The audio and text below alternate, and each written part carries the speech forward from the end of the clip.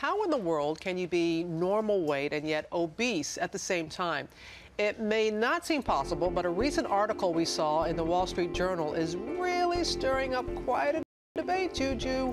We've been debating well, this. Robin, you know that we are a culture obsessed with that number on the scale, right? And we tend to categorize people as obese or normal weight. Well, it turns out a good chunk of those people who are normal weight, roughly 30 million people in all, may still be at risk of obesity-related diseases. This is a new body fat analysis test. Woohoo! Look at that blubber fly! Yes. Homer Simpson may have been onto something. Nurse, cancel my one o'clock. Your body fat percentage is a red flag pointing to risk factors of obesity no matter how much you weigh. Monica Sumter learned that the hard way. She lost 50 pounds, torturing herself by running five or six times a week. But what's worse, she discovered that even though she reached a normal weight for her height, her ratio of fat to muscle was still high. I was just shocked. I, I, thought that it was a lot lower and I thought that I was healthy. Increased body fat's not just about vanity, it can be a telltale sign of something far more serious. A new Mayo Clinic study followed 6,000 Americans over nine years, and it's revealing some surprising numbers.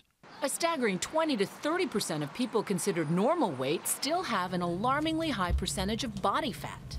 For example, a 5 foot 8 woman like Monica weighing 140 pounds is in the normal range for body mass index. But if 42 of those pounds are made up of fat, she would actually be considered normal weight obese.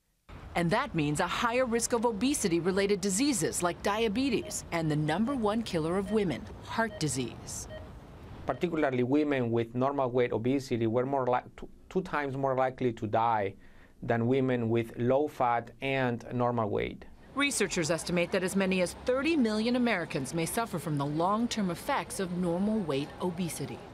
Monica changed her workout and reduced her body fat percentage. Resistance training is the key. And though she weighs 20 pounds more than her lowest, her body fat percentage is now down to 14%. I even participated in a figure competition to, to celebrate my success.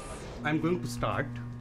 We asked researchers at St. Luke's Roosevelt to measure my body fat. Trust me, I was dreading the answer. The things I do for GMA. My body mass index is right on the line between normal and overweight, far from obese, but my body fat percentage puts me at risk. For a woman of my age, the range of acceptable is 23 to 35 percent. Mine is 37. So, on some level, this study points to people like me who need to be aware of their body fat. And I didn't need to take a full body scan to know that I'm out of shape and I need to exercise. Yes, and I think most people probably have a good sense of their own bodies as to whether they are out of shape. What's more, it's not just the percentage of body fat, it's the fat distribution. For all of us, belly fat is more dangerous than the fat we have on our tush, that's the technical term, or the thighs.